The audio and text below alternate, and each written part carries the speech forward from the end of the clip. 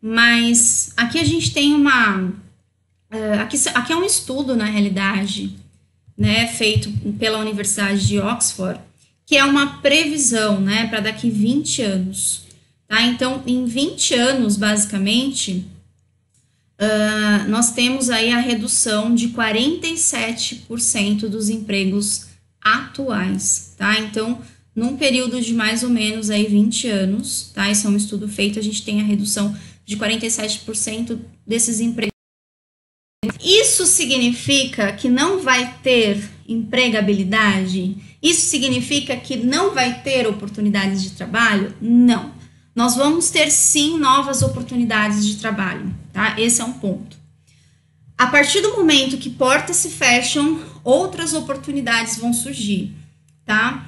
Só que essas novas oportunidades, elas vão exigir cada vez mais pessoas qualificadas e pessoas que realmente tenham desenvolvido inteligência emocional, que saiba lidar com as emoções. Esse, esses são pontos aqui chaves, tá? Então é aquilo que eu falei. Se na primeira revolução industrial o trabalhador saiu do campo para apertar um parafuso, por exemplo, operar uma máquina, ele é capaz de fazer isso.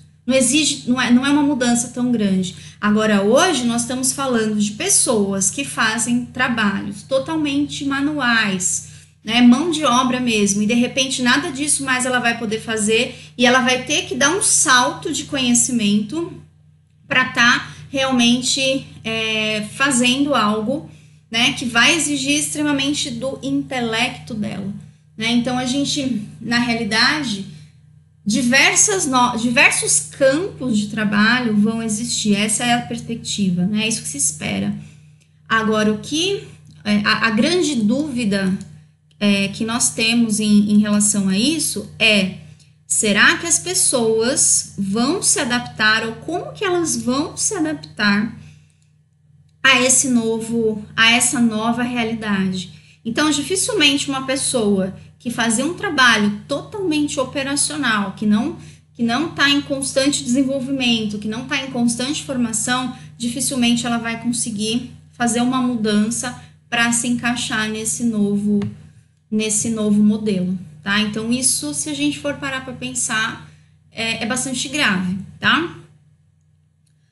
Uh, na verdade, eles falam muito idiomas e conheciam muitas culturas de diversos países, voltando né, é, as funções do Google que selecionam conteúdos, né?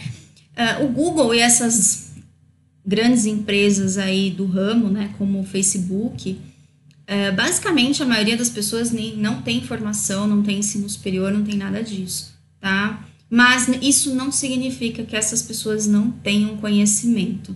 Então é isso que a gente precisa tomar um pouco de cuidado. A tendência, né, quando a gente fala as empresas não estão exigindo mais isso, tal, aquilo, mas não é que elas não estão exigindo qualificação, elas estão exigindo qualificação, mas é que essa qualificação ela não precisa ser necessariamente documentada né, por meios aí de diplomas e certificados e tudo mais, mas sim a pessoa mostrar que realmente sabe, né?